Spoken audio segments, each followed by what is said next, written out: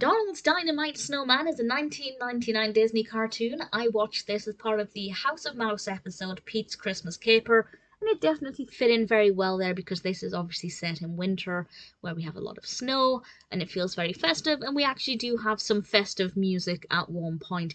Donald is building a snowman and the carrot falls out of the snowman's face to reveal a bomb, which is of course the true Donald's Dynamite style.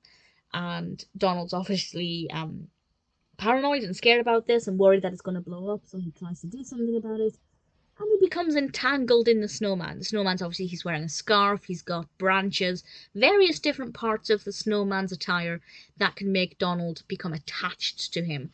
And um, well, I won't say any more than that because the cartoon's a couple of minutes in length, and I don't want to spoil any more of it, but I quite liked it. There is definitely something quite sinister about there being a bomb inside a snowman. Um, it definitely is a an interesting way of disguising it and hiding it, and it's a little bit morbid in some ways.